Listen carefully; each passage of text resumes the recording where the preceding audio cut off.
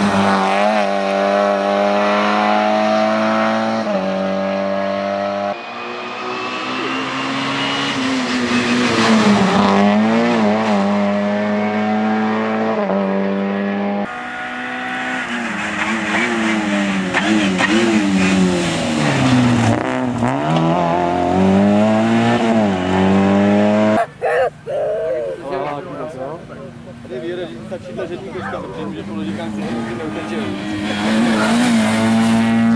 eu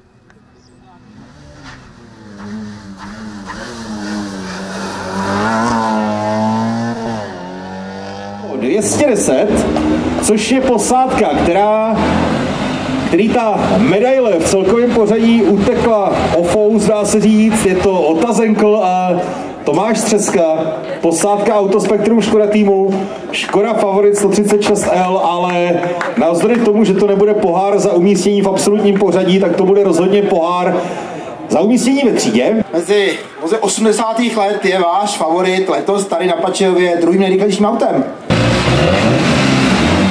My se dostáváme k posádce s legendárními jmény. My jsme tady už